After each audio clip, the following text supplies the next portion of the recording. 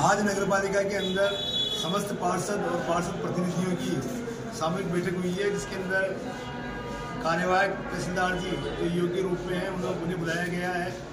पिछले पंद्रह दिन से नगर पालिका शहरी क्षेत्र में जो साफ़ सफ़ाई का, गंदगी का जो आलम छाया हुआ था, उसको लेकर जनता में भी नाराज़गी है और पार्षदों में नाराज़गी है। इस मामले में बैठ कर चर्चा की गई। चर्चा के अंदर ये पता लगा कि यहाँ कर्मचारियों को पिछले आठ महीने से वेतन नहीं मिला।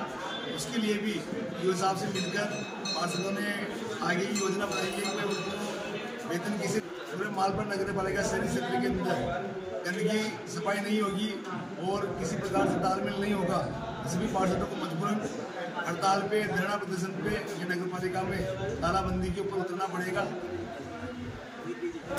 आज सफ़ाई को लेकर जो मीटिंग की गई, उसमें क्या निर्णय रहा? शहर की सफ़ाई व्यवस्था को लेकर पार्षदों एवं आमजन में जो समस्या थी। उस समस्या का निस्तारण करके सबने आपसी मिलजुल के बातचीत की और उसका निस्तारण कर लिया जाए। कल से शहर की सफ़ाई व्यवस्था सुचारू रूप से चलेगी। ऐसा मैं मालपुरा की आम जनता को विश्वास दिलाना चाहता हूँ। कल से कोई समस्या नहीं आएगी कुछ चुनाव की व्यस्तता के कारण एवं सफ़ाई कर्मचारियों का भुगतान नहीं होने के कारण समस्या आ रही थी। कल से वो व्यवस्था में प्रॉब्लम नहीं आएगी और सुचारू रूप से व्यवस्था चलेगी ठीक है। है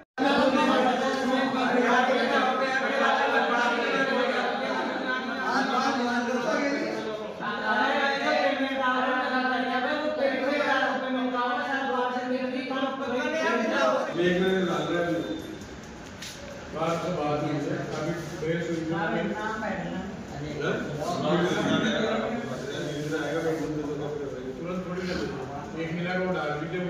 juga BPM permadani kami